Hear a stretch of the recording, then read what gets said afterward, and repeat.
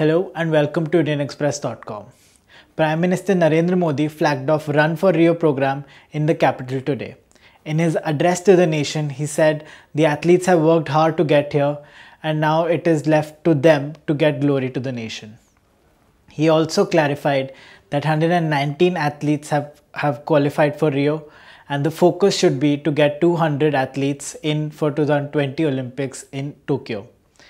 He mentioned the Indian athletes will get Indian food uh, while they are staying in the Rio village and also $100 will be given to officials and uh, athletes both to spend as daily allowance. He said the Indian government has spent 30 lakhs to 1.5 crores on each athlete with a budget of 125 crores.